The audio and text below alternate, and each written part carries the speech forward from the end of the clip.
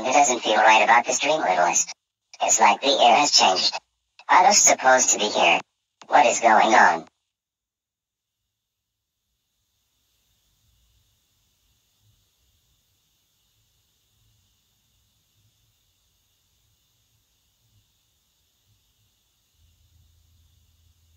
Wow.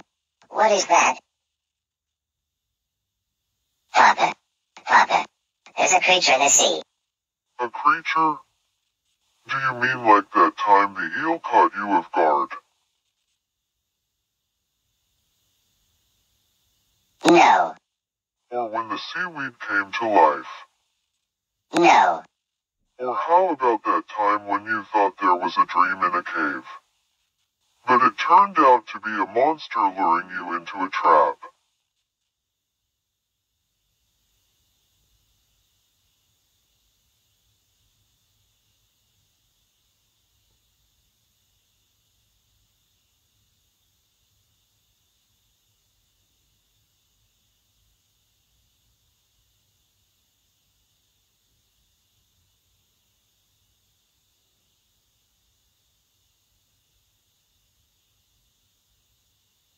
No.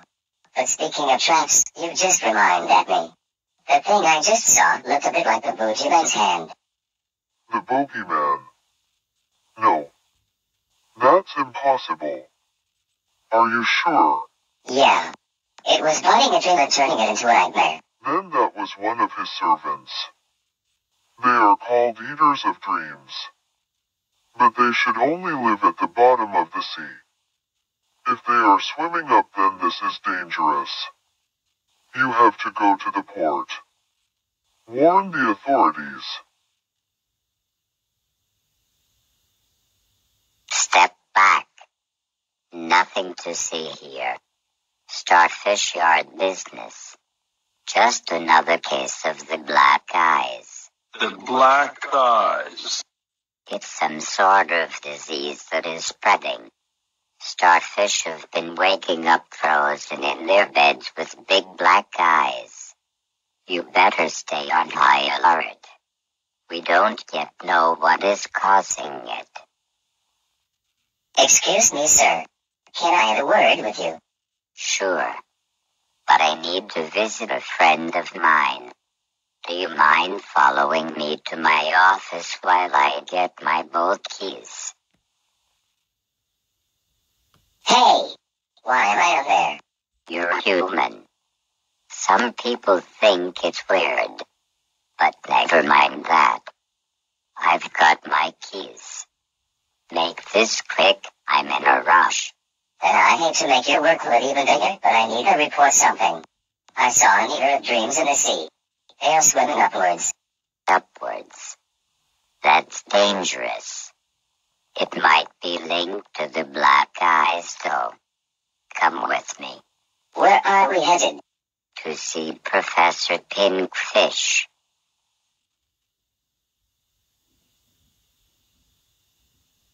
Ah, Professor. I need you to have a look at this sample. It's what one of the black eyes victims had been drinking. You need me to identify. No problem. I see you've brought a salvager with you. This is Daniel.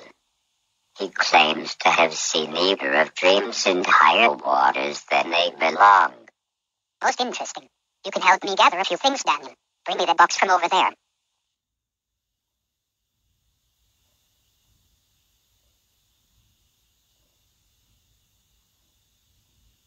What's this?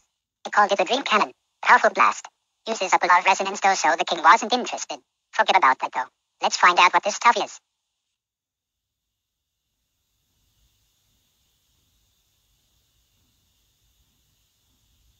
Nightmare resonance. It's diluted nightmare resonance. These idiots have been drinking nightmares. Why? Come on, Quinley, you must have had some when you were young. Never did anything illegal. Oh well, drinking nightmares is exactly that. It gives you a kick of adrenaline. Quite delicious. But if you overdid it, you could end up literally frozen in fear. That's what the black eyes is. Hang on, I'll find the old government videos on it. Hello, kids. I'm Earl Engelbert, one of the king's salvagers. I know some of you think drinking nightmare juice is fun. So I'm here to clear something up. Don't drink nightmares. Get the idea. The starfish should recover in a few days. But you need to find whoever is supplying the nightmares and put a stop to it. Think this calls for a stakeout. Oh, and Daniel. I've been meaning to employ a salvager for some time. When all this nightmare nonsense has passed, feel free to pop around for some work. I'll think about it, Professor. Okay, kid. We just have to wait until we see anyone suspicious. Then we can follow them to wherever this nightmare store is. There we go. Where's that salvager going? There's a salvager outside, sir. In a blue suit. Oh, actually, a red suit. Forgive me. I don't care about the colors of his suit. Tessmacher. Does he have food? Yes, sir. Two tin. Let them in. Put the tins on the plate and follow me. Calling all agents. This is Quinley. Suspects are on the move. The Nightmare Store is mobile. Good evening. Welcome. Welcome. My name is Earl Engelbert. Earl Engelbert. Were you one of the King's salvagers? I was. But I've come a long way since. Then. You must be a new client. That's good. Business is spreading. What is your name? Daniel. He has brought resonance, sir. Two tins. Excellent. One for me. And one for the pets. The pets. Oh, forgive me, Daniel. I forgot this is your first time here. I guess you'd like to see how the product is made before you purchase it. Follow me. It is far too dangerous to dive to the bottom of the oceans where the dream eaters dwell. We wouldn't last five minutes. But I need to get my hands on nightmare resonance somehow.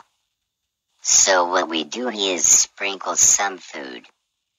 Encourage the eaters to swim up just a little bit more, so they can infect more accessible dreams. But surely that's dangerous. You're fattening them up, making them stronger, leading them closer to homes.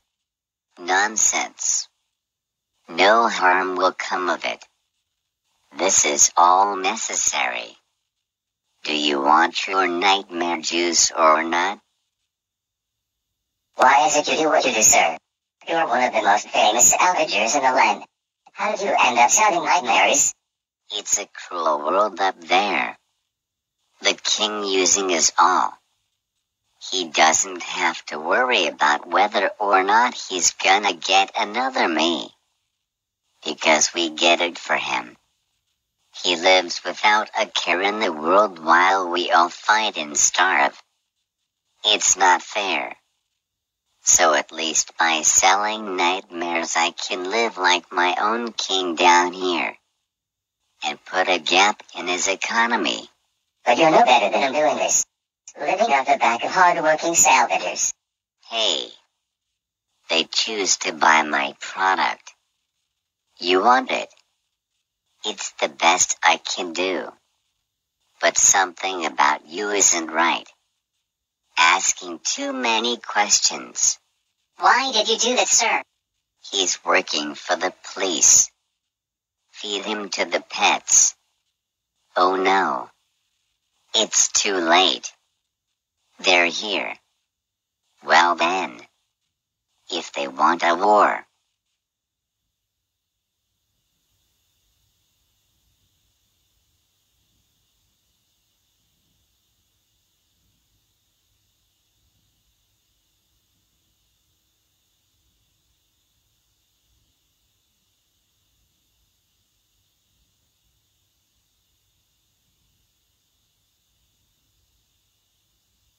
Things are looking pretty bad, Daniel. The nightmare seller tried to flee to the surface. But he's lured the Dream Eaters up with him. Monster attack. Eaters of dreams. We must protect the resonance before they infect all our supply. Our lasers barely seem to scratch them. I've got an idea, Quinley. Hold them off as long as you can. Thank goodness, Daniel. We were getting worried. I thought you were stopping the Dream Eaters, though. You seem to have caused a quicker attack instead. It's a long story, Papa. But we can stop them. We just need to go to see Professor Pinkfish. I'll show you the directions. Professor, I need the dream cannon. Can I borrow it? I, of course. I need to borrow some resonance. Trust me. It's either spare a few pieces or lose it all to the dream eaters.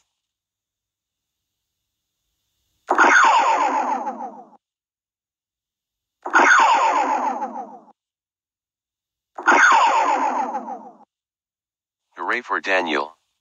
He has saved the resonance.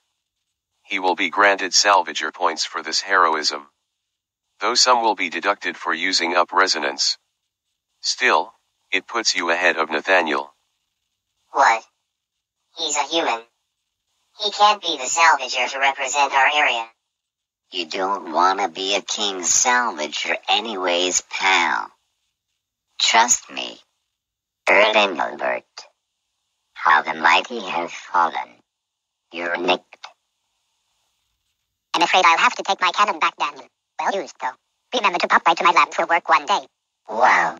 Can't believe I have more points than Nathaniel. You've been doing very well. And always doing the right thing. Sure, that business with Crandall didn't get you anything. But it taught you the same principle for saving the port today. You're a real hero. Now you just have to stay focused. He can still overtake you. But I am confident when the guild visit, it will be you that wins the title of King Salvager. One step closer to being the legendary Salvager of the realm. One step closer.